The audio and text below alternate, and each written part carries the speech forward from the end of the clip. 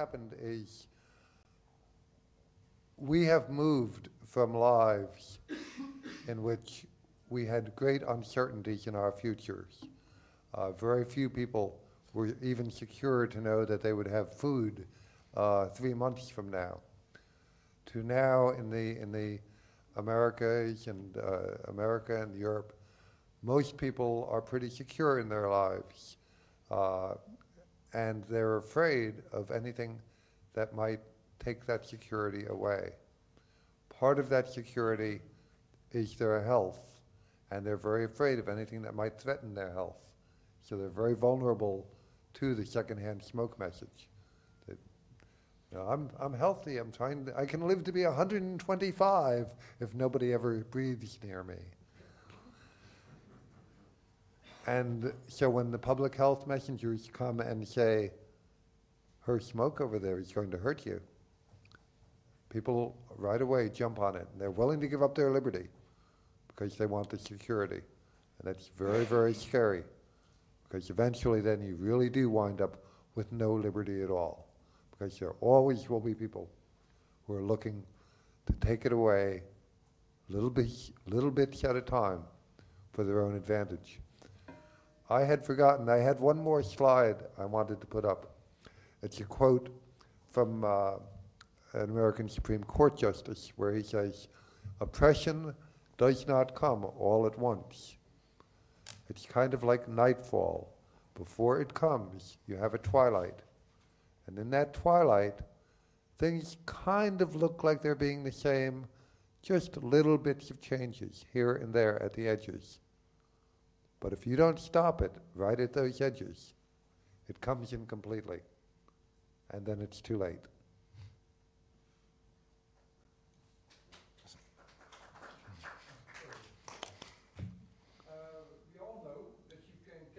cancer, cancer from smoking. Oh, sorry. Um, but somewhere I've read sometime that you, when you smoke, you don't get an other numerous diseases. Is that true? You understand what I... the, the, yes, I think so. But because when it is a lie, we need them. I think there are some diseases that are negatively correlated with smoking. So if you smoke, you are less likely to get something like Parkinson's disease or Alzheimer's disease. Uh, ulcerative colitis is another disease, I believe, that uh, smoking seems to protect against. Uh, I have often thought that the, the, the disease called multiple chemical sensitivity, those are the people who are allergic to everything. I never heard of a smoker having multiple chemical sensitivity. and I am sure that if there was any connection at all, I would have heard about it. So I think maybe the connection is the opposite. Maybe smoking protects against it. I mean, yeah, but I think there is a serious point with that because people with so-called mul multiple chemical sensitivity are, are hypochondriacs. I mean, there's no other word for it. It's, it's, it's, it's not a serious disease. Virtually no medical authority believe it to be a serious disease. Um, they're just another bunch of very strident people who are convinced that they have this interesting neurosis. Um, but the fact that they have, they've had it and people in, in previous generations didn't have it, I think is, is significant because things like secondhand smoke actively encourage people to fear trace quantities of things that believe to be toxic. It teaches people to to believe that something that they physically have a mild, you know, dislike of is actually going to kill them. Um, third-hand smoke does the same thing. In a responsible society, the medical establishment would be the first people to stand up and say there is nothing to worry about here, this is medieval superstition. Unfortunately, in the case of second and third hand smoke, they have completely failed to do that because it happens to, to fit into their political program. Um, they might think that the, the benefits of having smoking bans outweighs the, the negative of having a few more hypochondriacs around. But that is what's going to happen: is you will have more hypochondriacs. You will have people who live in a state of terror um, about a carpet that a smoker has once trod on. You know, this is not a healthy development for society as a whole. Whatever the benefit may be to the, a nation's health, which I would say would be negligible anyway, uh, would be far outweighed by the, the damage to the, uh, the nation's mental health.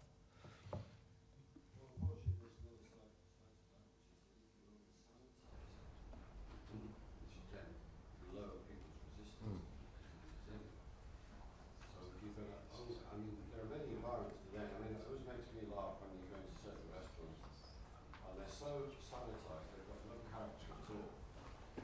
Um, I, I, I have a joke thing about it, where about a trendy kind of couple go in, in London, so we go, go to somewhere like um, Islington into a, a, a, wine bar where they can eat, and it's so sanitised, but they're being very trendy, and they say, and on come the, the over the headphones comes something like "Born to Be Wild" by Steppenwolf, and it's going over, and he says to her, um, "Gosh, don't you remember this record when we in the summer of love? What a great time we had with it, you know." And she says, "Oh, it was wonderful, isn't it? What do you want to eat?" And he says, "I really fancied the steak." She says, "No, no, you got bad cholesterol. Born to be wild, get your motor running." Um, well, I was thinking I'd have a glass of wine. Well, you know, the doctor told you too many about it. This is a really good record. It's Born to be Wild. yeah, and, and then it goes, and then he goes, uh, hell, is that a person smoking over there? I might die now.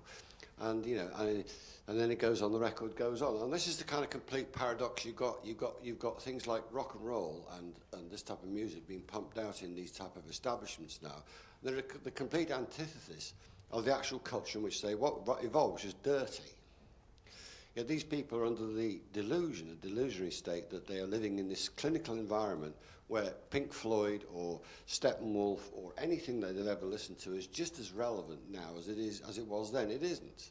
They're just deluding themselves. And, and to many of us, if I go into those environments and listen to that kind of music, it just lost all its quality because the environment which I'm listening to it, it, it in is completely wrong.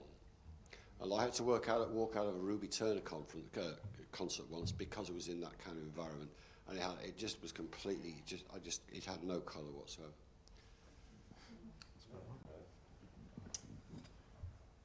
Yeah, I, I think the fundamental reason why we cannot have um, a balanced debate about the true costs of tobacco, um, of smoking, um, uh, or whether there might be, for some people, some benefits um, from smoking, is that the debate, using the word loosely, is no longer about public health.